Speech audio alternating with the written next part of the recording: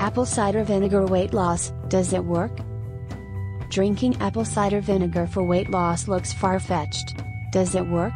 Apple cider vinegar isn't always possibly to be fantastic for weight loss.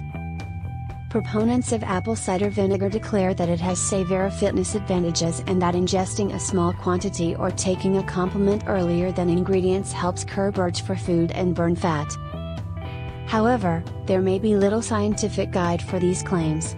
Studies of apple cider vinegar for weight loss have now not constantly proven large and sustainable weight loss throughout numerous agencies of people. Although occasional use of apple cider vinegar is secure for most people, it does elevate some risks. For example, apple cider vinegar is fairly acidic. It can also irritate your throat if you drink it regularly or in giant amounts. Apple cider vinegar may also engage with sure dietary supplements or drugs, along with diuretics and insulin. This may also make contributions to low potassium levels.